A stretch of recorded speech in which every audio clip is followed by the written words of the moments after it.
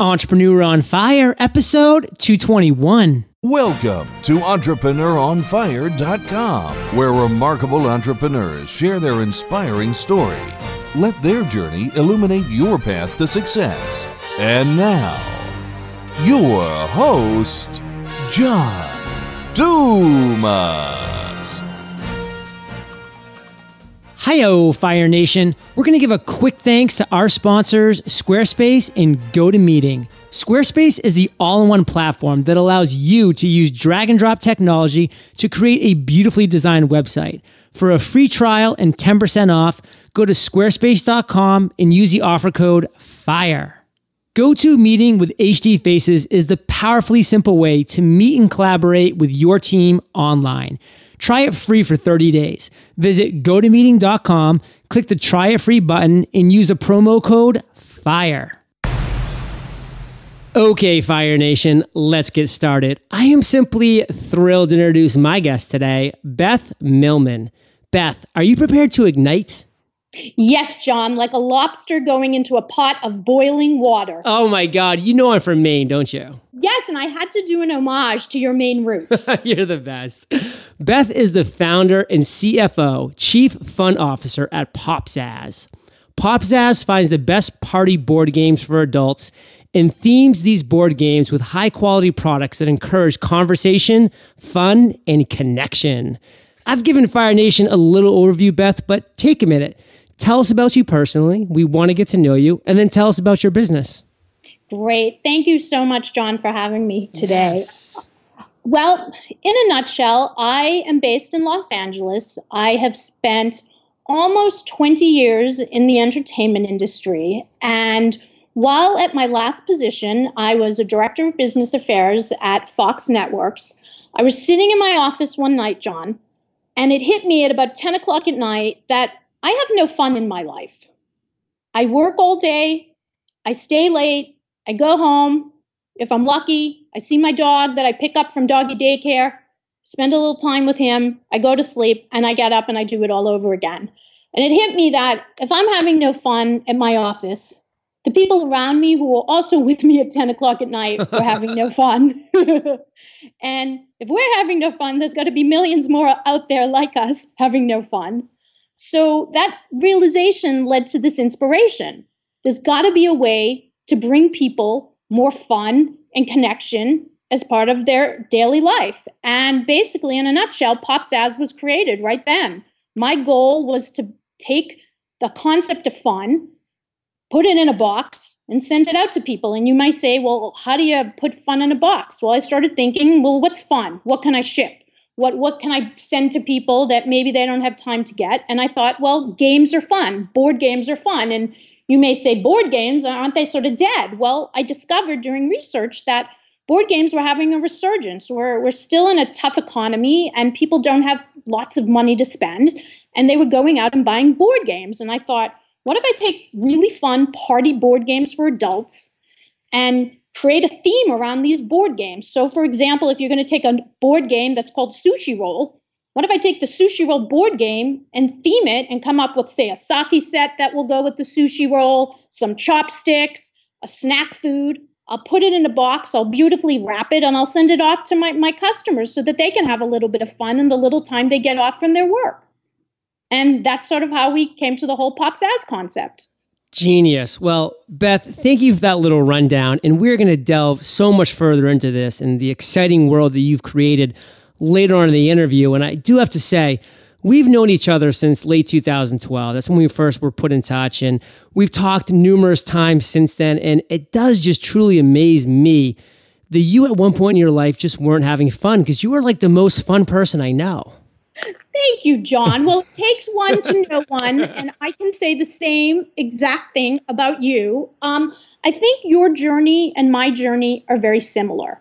I think we both followed a path that we both thought would lead us to success and that would lead us to fun. And I think when you're not pursuing your passion and you're not doing work that you're truly passionate about, you're not having fun.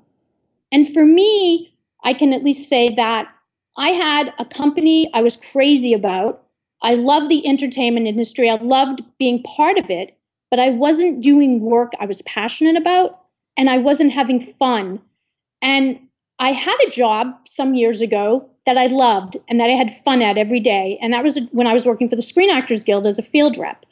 And I really wanted to get back to a place where, uh, where I could feel that sense of excitement every day when I get up. And I imagine, John, when you wake up now and you know you have shows to tape and people to talk to, that it's fun to you. It isn't work.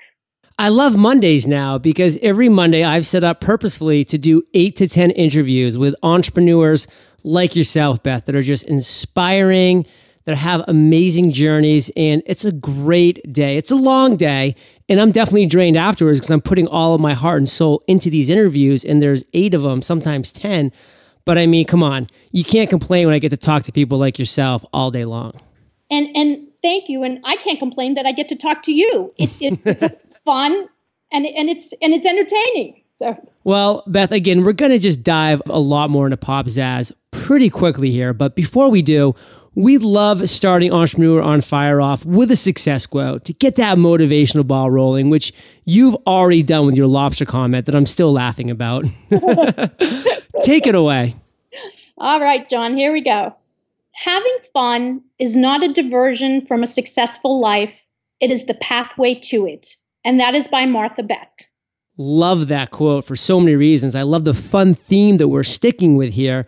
But take that quote, share with us how you apply that to your everyday life, to your mentality, Beth. Well, for me, John, I don't think fun and work have to be mutually exclusive. I am committed to bringing more fun into your life and i'm committed to to giving you fun even at work and i think that for most of us we separate out our lives where fun is what we do when we're not at work right and i think right and i think for those of us who have figured out and it's a journey and it doesn't happen overnight and it certainly took me 20 years to figure it out for those of us who figure out how to do work that's also fun, that is what leads us on that path to the successful life. And I'm not defining success necessarily by money and a big house. I mean, to me, success is getting up and feeling really passionate and excited about what your life is bringing you every day. That's great stuff. And we're going to diverge off the road of funness for just a second because our next topic is incredibly important for entrepreneurs to grasp, to understand, to realize that as part of being an entrepreneur. And that's failure. That's challenges and obstacles that we face every single day on certain levels. Beth, take us back to a time in your journey when you failed or when you faced a major challenge or obstacle that you had to dig deep to overcome. And how'd you overcome that? Well, I'm going to take it back. Then that and that comes before Popzazz, but it's what led me to Popzazz. If Perfect. that's okay. Okay. I was working for five years for Fox Networks, as I said earlier, and in that job, I was responsible as the director of business affairs for handling over 40 cable networks such as Fox Movie Channel, FX, Fox Sports Networks, Fox Deportes, many, many networks like that.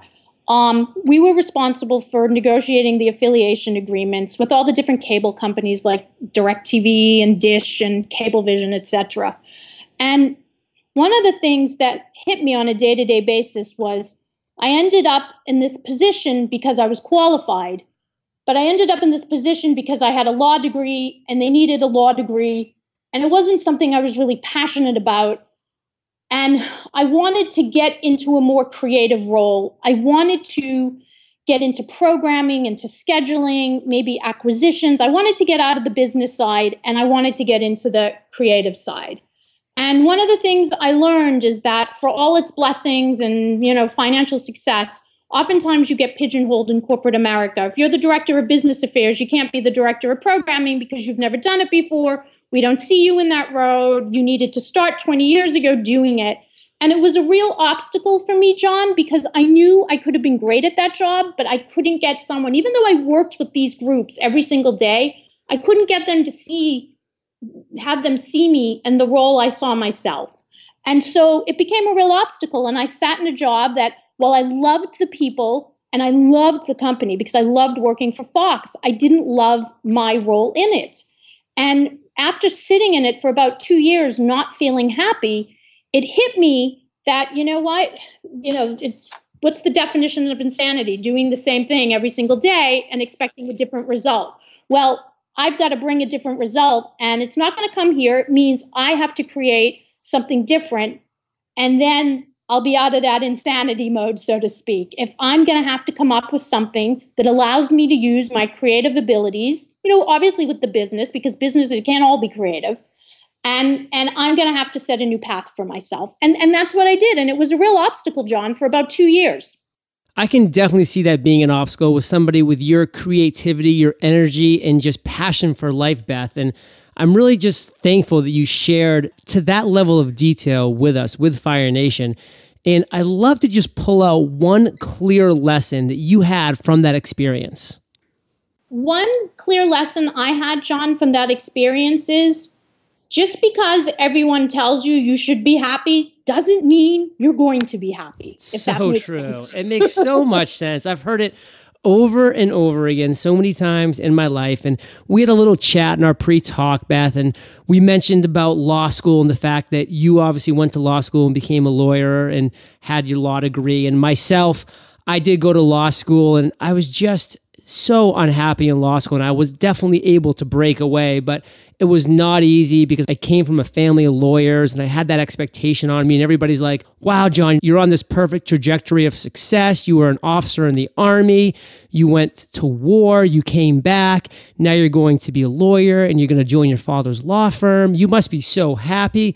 And I wasn't. Just because other people say you're going to be happy or think you should be happy doesn't mean you're fulfilling your authentic self.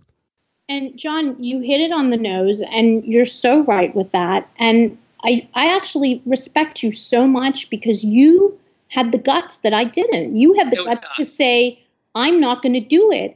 And I was too afraid to say, I'm not going to do it, even though I knew the second day of law school, this isn't for me. I shouldn't be here. But I told everyone I was in the program, I was committed. So I didn't have the courage to just leave. And when I see what you did, I really, really respect that. Thank you so much, Beth. I really respect what you were able to do at a later age. And I'm so glad you're sharing your journey. And part of that journey is going to take us to the other end of the spectrum. And that's the aha moment when that light bulb goes off and you say, wow, this is going to resonate with my authentic self. This is my target market. And You've already shared with us a couple aha moments you've had. I saw that light bulb go off and you're talking about Popzazz. It's so obvious on so many levels.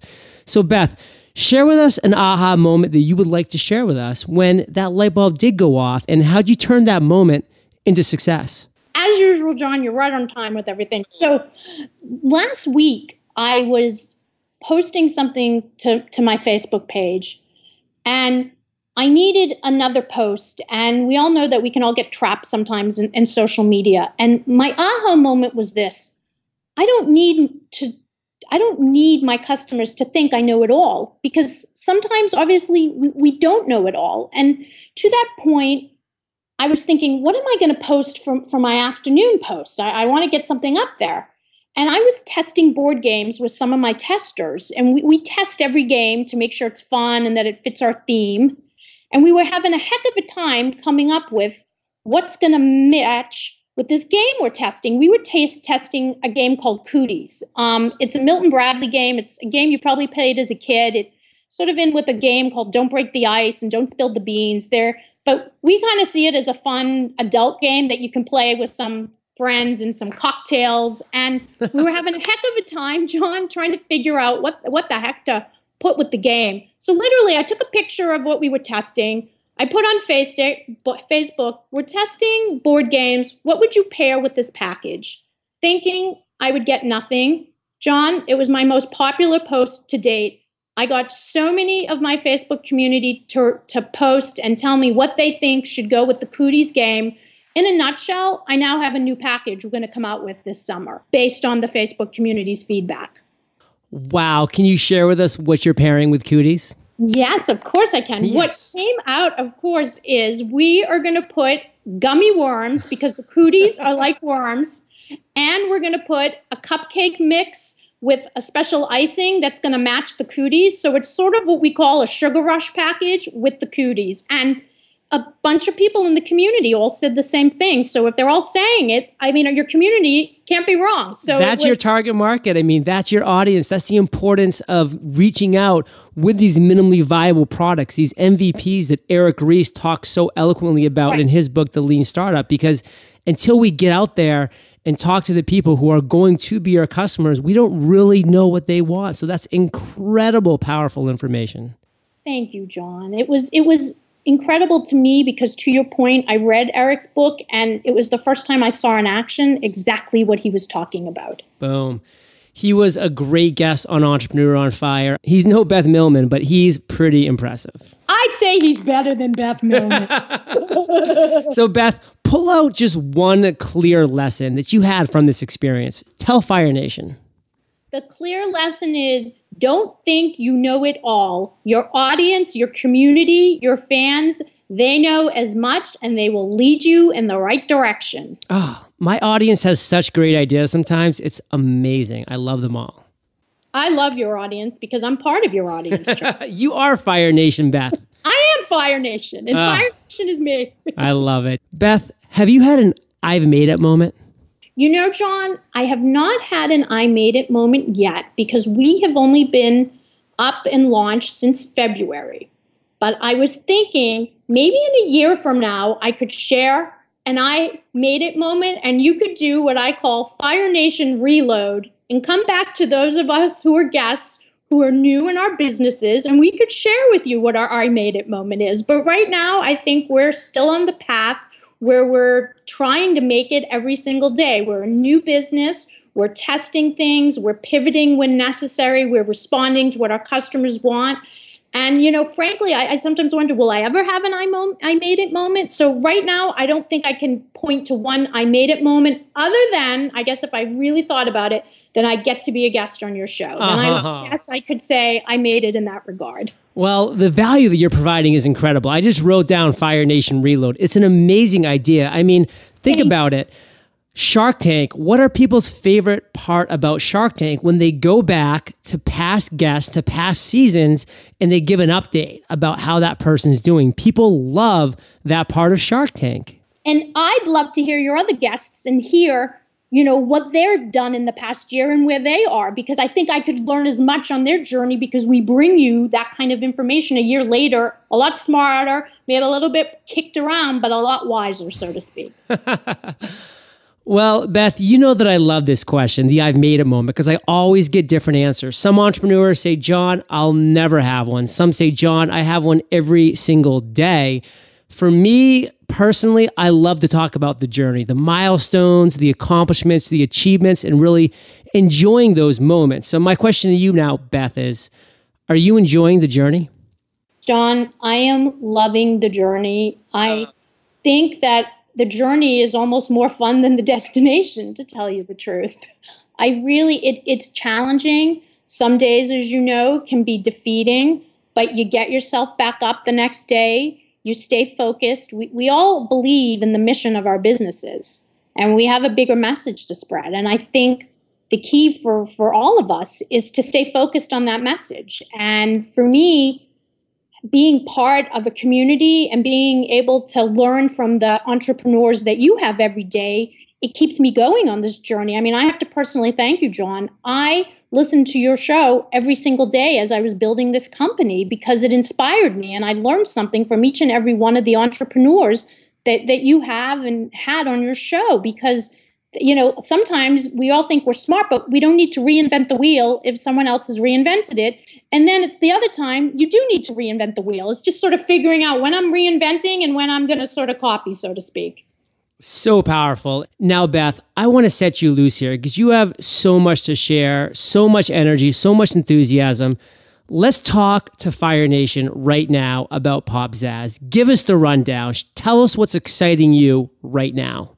Well, what is exciting me, John, right now is the fact that we get to be super disruptive and super creative in an industry that maybe has been sort of the same for many years what we're doing at Popzazz is we're taking a board game and we're finding really fun, creative items that encourage conversation, connection, and fun. And to that regard, what we're doing is we're creating packages around, say, for example, a product called Bananagrams. Bananagrams is a word game. It comes in a yellow banana cloth shaped like a banana, so it's a banana package, and it's full of tiles that you make word games. Most companies sell it alone. Here's bananagrams. What we're doing at Popzazz, we're taking that bananagram package and we're pairing it with a barrel of monkeys. Why? Because what is a monkey without a banana?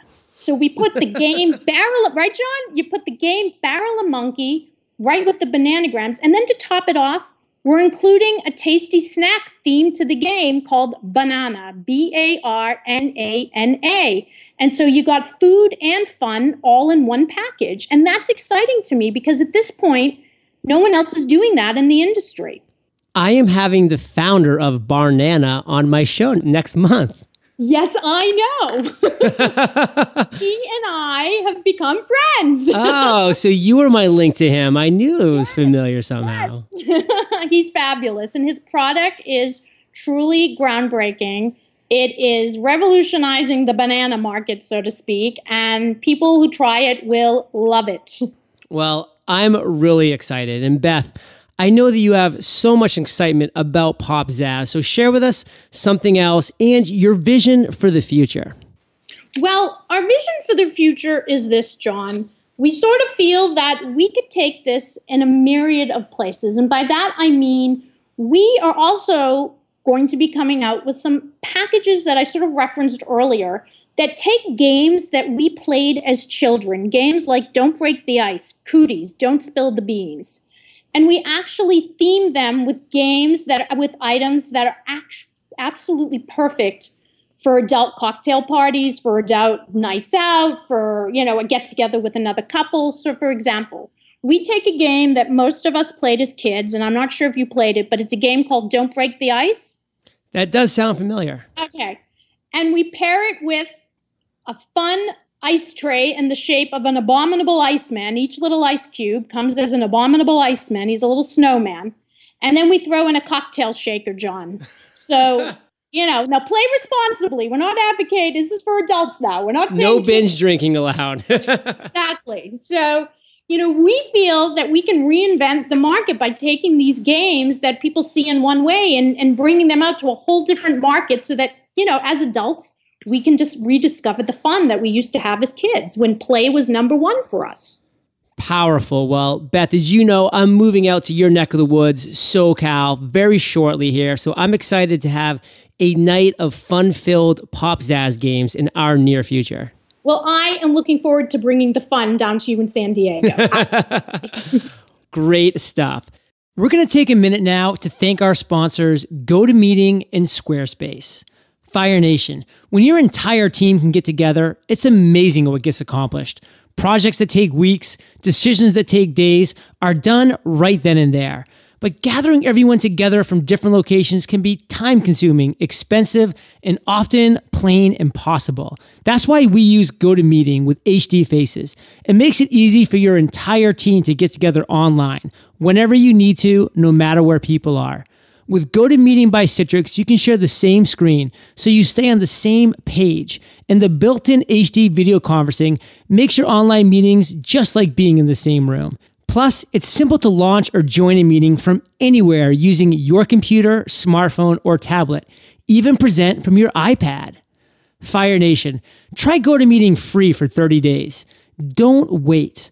For this special offer, visit gotomeeting.com, click the try it free button, and use a promo code FIRE. Remember, promo code FIRE. Now let's chat Squarespace, the all in one platform that makes it easy to create your own website that's designed just the way you want it. Now, when I say all in one, I mean it. With Squarespace, you're getting a platform that includes features like hosting, SEO, and it even makes your site automatically look great on any device through responsive design. It's incredibly easy to use, and here's the best part. Squarespace's all in one platform starts at just $8 a month and includes a domain name if you sign up for a year.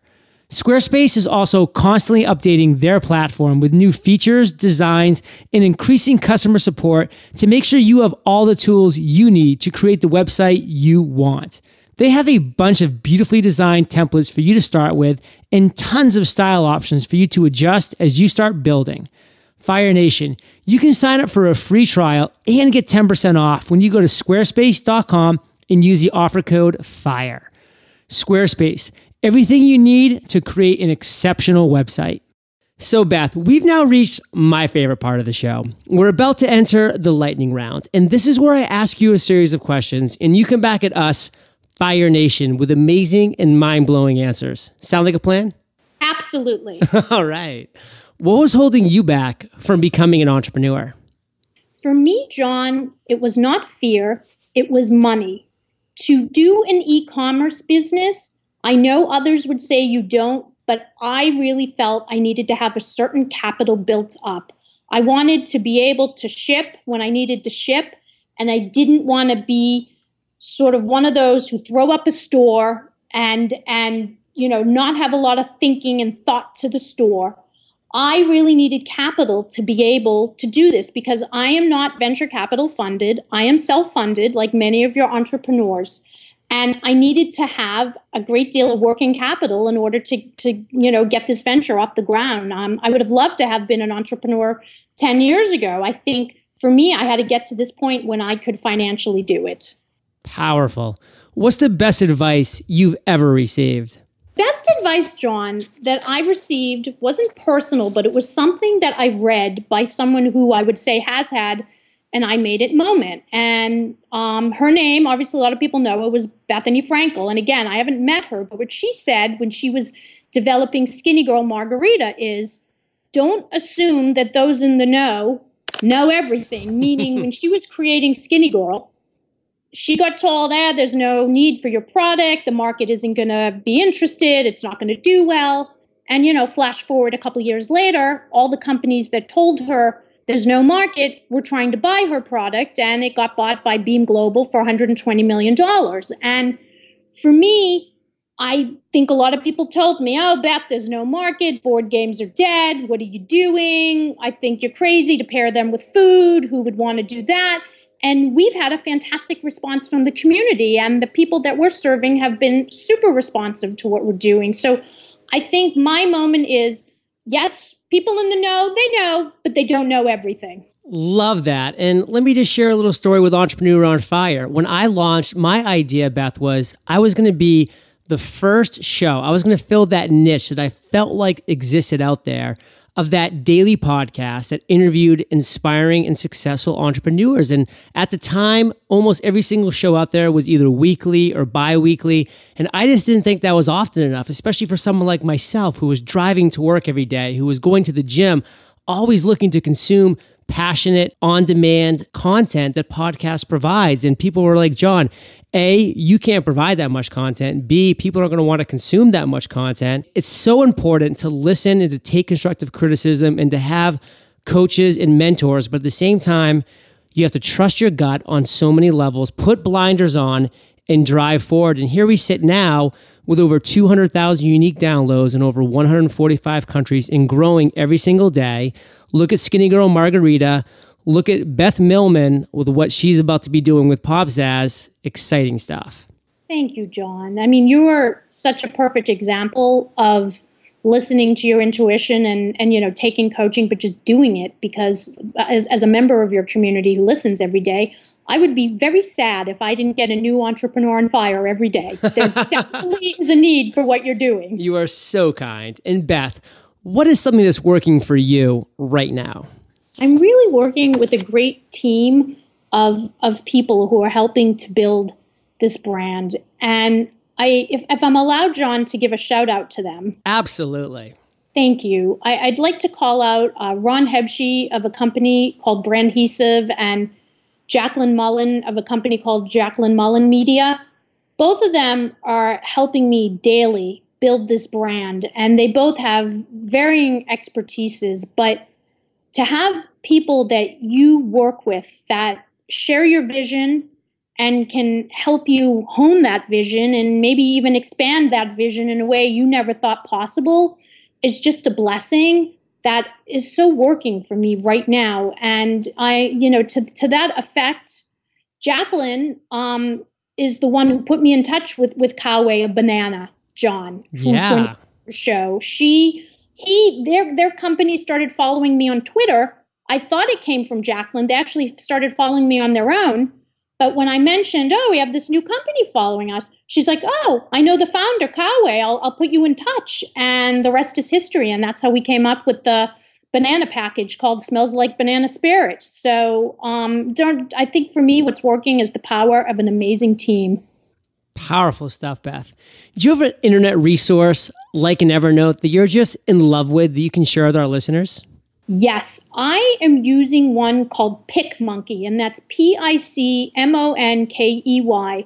I think, John, I found it from listening to a podcast by Michael Stelzner and yeah. Social Examiner. I believe he's the one who first mentioned it, and that's how it came to my attention. It is amazing. It's an amazing photo editor program. It's super easy, super fun for people who don't have Photoshop. If you want something great to use for your photos to put on Facebook and Twitter for your social media. I highly, highly recommend PicMonkey. It's there's a free version, and then if you pay for the upgraded version, which I did, if I recall, John, I don't think I paid more than $33 for the year, but do not let the price make you think it's not worth it. It's a fabulous photo editing program and it's fun. I mean, it just has a fun vibe to it. And if you're going to edit pictures and try to have a fun brand, why not have fun using your photo editor too? Definitely. Great resource. And Fire Nation, you can get links to this resource and everything else that we've mentioned in today's episode by going to entrepreneuronfire.com slash Beth Millman. So, Beth, could you recommend one book for our listeners?